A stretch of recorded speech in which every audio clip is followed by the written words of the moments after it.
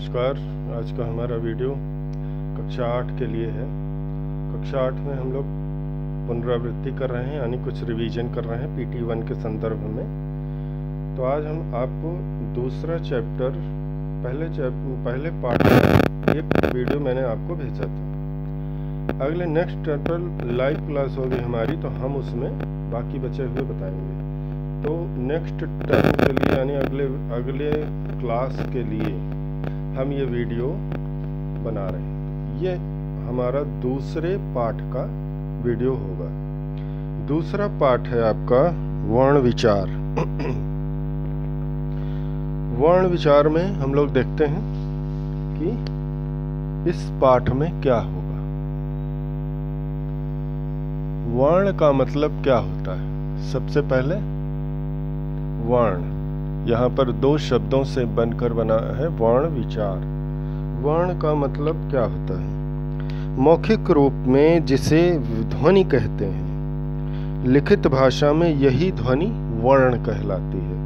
यानी भाषा की वह छोटी से छोटी इकाई जिसके और अधिक खंड नहीं किए जा सकते, उसे वर्ण कहते हैं।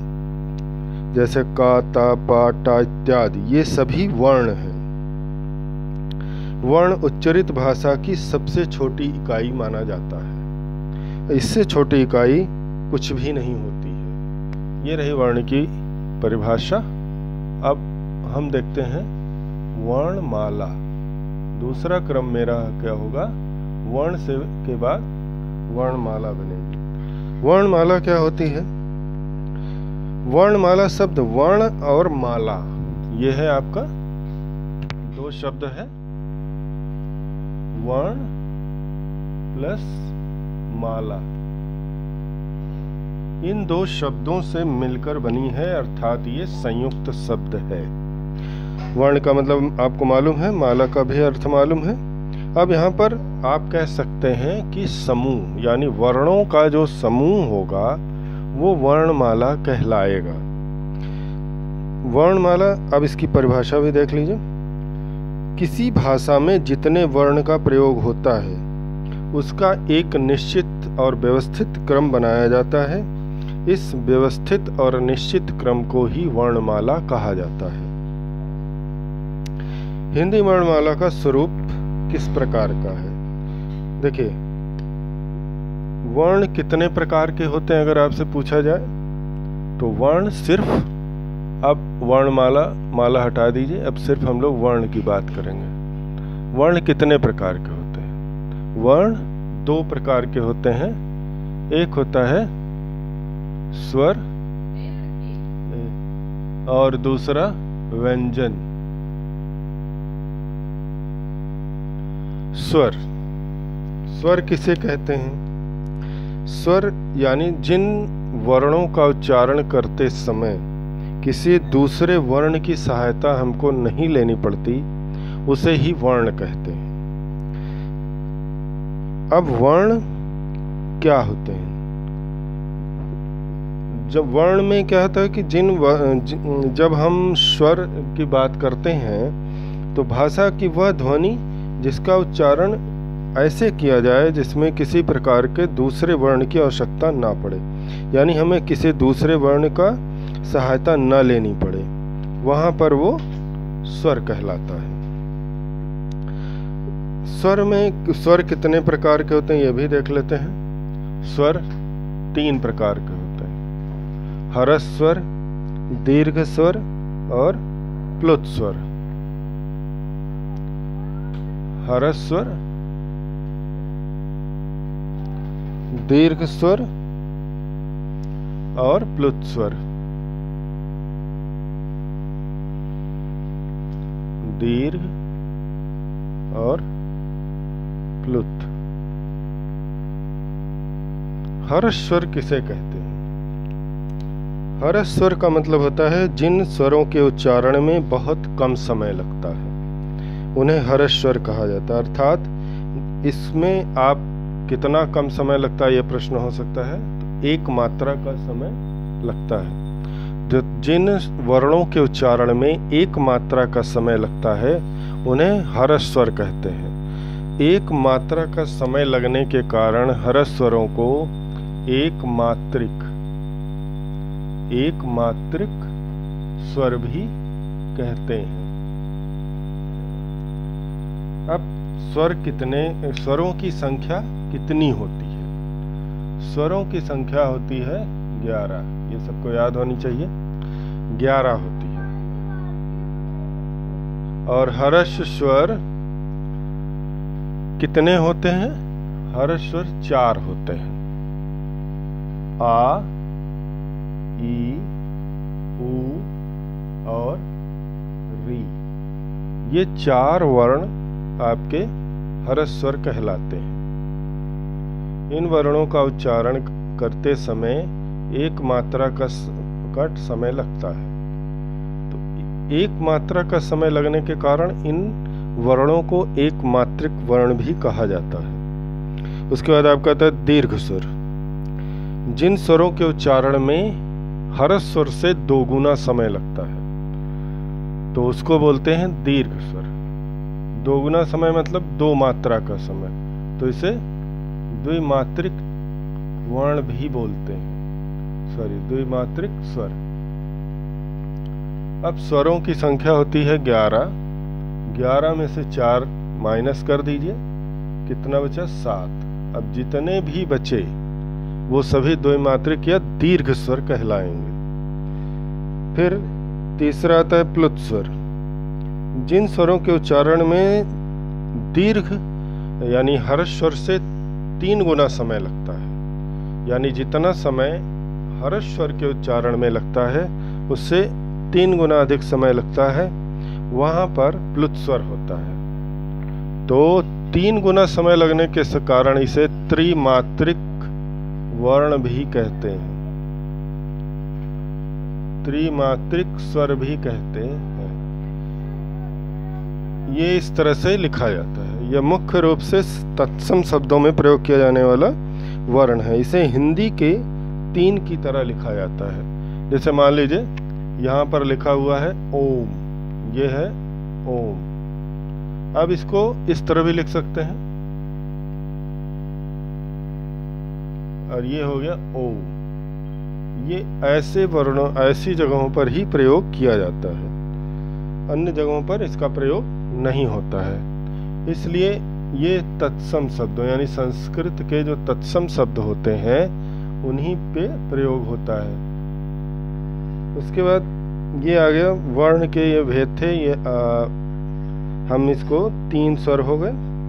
उसके बाद ग्यारह स्वर होते हैं ग्यारह स्वर माइनस कर देंगे। उसके बाद मात्राएँ कितनी होती हैं? अब ये तीन स्वर हो गए ध्यान रखिए स्वर ही मात्राओं में बदलते हैं। स्वर होते हैं आपके ग्यारह। और मात्रा होती है दस। क्योंकि जो स्वर है, ये ये स्वर हर वर्ण में उपस्थित होता है। तो हर वर्ण में उपस्थित होने की वजह से इसकी मात्रा नहीं गिनी जाती। तो अब हम देखते हैं कि आगे क्या है। अब देखिए, उत्पत्ति या रचना के आधार पर स्वरों का भेद क्या होता है? उत्पत्ति और रचना के आधार पर स्वर दो प्रकार के होते हैं, मूल स्वर और संधि स्वर। जो स्वर दूसरों के मेल से नहीं बनते, उन्हें मूल स्वर कहते हैं। यानी ये जो हरस स्वर हैं आपके, यही मूल स्वर होते हैं।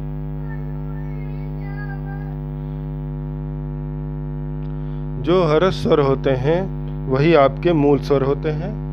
ये चार, इनकी रचना किसी भी प्रकार से बदली नहीं जा सकती। अर्थात, जो स्वर दूसरों के मेल से नहीं बनेंगे, आखिर ये दूसरों के मेल से नहीं बनते। उसके बाद आता है संधि स्वर।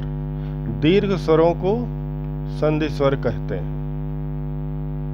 क्योंकि ये दूसरे स्वरों से मिलकर बनते हैं। जैसे मान लीजिए आपका दीर्घ स्वर में पहला मान लेते हैं, आ है। तो आ की रचना कैसे होगी? आ प्लस आ बराबर आ।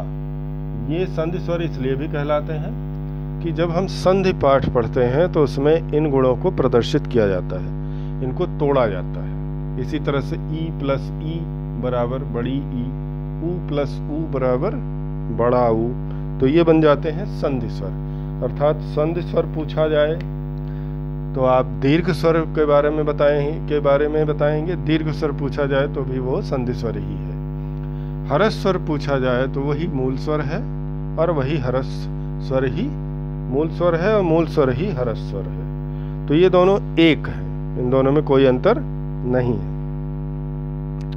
उसके बाद आता है आपका अयोग वाह अयोग वाह क्या होता है? अयोग वाह एक ऐसा वर्ण होता है जिसको ना तो हम स्वर में स्थान देते हैं और ना ही व्यंजन में। परंतु वर्णमाला में हम इसका लगातार प्रयोग करते हैं। यानी हिंदी साहित्य में, हिंदी व्याकरण में हर अयोग वाह का प्रयोग किया जाता है। अयोग वाह दो होते हैं। अयोग वाह यानी ऐसा वर्ण जिसका, जिसको न तो व्यंजन में स्थान दिया गया है और न ही उसे वर्ण में स्थान दिया गया है। तो ये दो कौन से हैं? अंग और आहा। ये हैं अंग और आहा। परंतु हम इनका प्रयोग हिंदी भाषा में समान रूप से करते हैं। तो हिंदी वर्णमाला में स्वरों और व्यंजनों के अतिरिक्त दो अन्य वर्ण भी आ जाते हैं, जिन्हें अंग और आहा कहते हैं। इन इन दोनों का प्रयोग स्वरों के, स्वरों और व्यंजन दोनों में समान रूप से किया जाता है, परंतु इनकी गणना गणना स्वर में की जाती है। न ही व्यंजन में की जाती है। न व्यंजन में गिने जाने के कारण और न स्वर में गिने जाने के कारण ये अयोग वाह कहलाते हैं। यहाँ पर आप देख सकते हैं अनुस्वार। हम आपको बताते हैं। शब्द आता है अनुस्वार। अनुस्वार क्या होता है? अनुस्वार इसे आपके अंग और अहायोगवाद से जुड़ा हुआ है। अनुस्वार का मतलब होता है जहाँ पर अनुस्वार लगाना होता है, वहाँ पर एक लाइन और वर्ण के ऊपर ये बिंदी लगाते हैं। इसको बोलते हैं अनुस्वार। अनुस्वार जैसे मान लीजिए हंस शब्द है। हंस। हंस? हा, आधा न और सा। यहाँ पर ना जो है, व्यंजन है। और अपने वर्ग का पांचवा वर्ण है। तो जो पंचमाक्षर होता है, यानी स्पर्श व्यंजन में, वो अपने वर्ग के पाँचवें वर्ण में, क्या होता है, वो अनुस्वार में बदल जाता है। तो इसलिए उसको बोलते हैं अनुस्वार। दूसरा होता है, ध्यान रखिए, अनुस्वार का प्रयोग संस्कृत के शब्दों में किया जाता है, यानी तत्सम शब्दों में करते हैं। उसके बाद, अनुनासिक।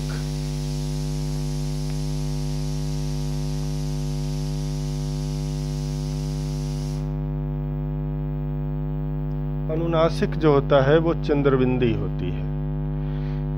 इसका प्रयोग संस्कृत यानी तत्सम शब्दों में बिल्कुल नहीं किया जाता। ये प्रयोग सिर्फ़ हिंदी में ही होता है, और इसको हम इस तरह लिखते हैं। अब ये हंस था, अब इसको हम जब चंद्रबिंदी लगा देते हैं तो हंस से ये हंस बन जाता है। हंस एक संज्ञा हो गई, और हंस एक क्या हो गया? भाववाचक संज्ञा हो गई। ये व्यक्तिवाचक संज्ञा थी, ये भाववाचक। यानी हंस एक क्रिया हो गई जिसको हंस करके लोग प्रदर्शित करते हैं और ये एक प्राणी का नाम है। तो अनुनासिक सिर्फ़ और सिर्फ़ हिंदी भाषा में प्रयोग होता है और उर्दू फारसी में भी प्रयोग किया जाता है, परंतु अनुस्वार सिर्फ़ संस्कृत के शब्दों में प्रयोग होता है और हिंदी में भी उन्हीं शब्दों में प्रयोग किया जाता है जो तत्सम शब्द हो जाते हैं। उसके बाद आता है विसर्ग। विसर्ग क्या होते हैं? विसर्ग हा, विसर्ग का उच्चारण हा की तरह होता है। विसर्ग। जैसे हम लिखते हैं, अतः। अब यहाँ विसर्ग। अतः। हा की तरह इसका उच्चारण होता है। विसर्ग की विशेषता ये है कि विसर्ग हमेशा शब्दों के अंत में ही लगेगा। अगर बीच में लगेगा, जैसे मान लीजिए दुख दुख ये है और दूसरा दुख लिखें तो विसर्ग के साथ तो ये होता है। तो जहाँ पर विसर्ग होता है, वहाँ ये ऊपर की लाइन। जो ऊपर की लाइन खींची जाती है, इसको बोलते हैं शिरोरेखा। शिरोरेखा यानी जो सर के ऊपर खींची गई जो रेखा है, यानी शब्दों के सर के ऊपर खींची गई रेखा को ही शिरोरेखा कहते हैं। जहाँ पर विसर्ग आएगा वहाँ पर ये शिरोरेखा ब्रेक हो जाएगी। आप संस्कृत में देख सकते हैं। संस्कृत में इसका बहुत प्रयोग होता है। जहाँ पर विसर्ग आता है, वहाँ पर ये शिरोरेखा को समाप्त कर दिया जाता है। यानी ये शिरोरेखा को ब्रेक कर देते हैं, तोड़ देते हैं, उसके बाद फिर हम लिखते हैं। जैसे ये दुख दुख तत्सम शब्द है और ये दुख, ये हिंदी का शब्द है। तो इस तरह से हम लोग ने आज स्वर देख लिया। अगले वीडियो में हम लोग व्यंजन देखेंगे।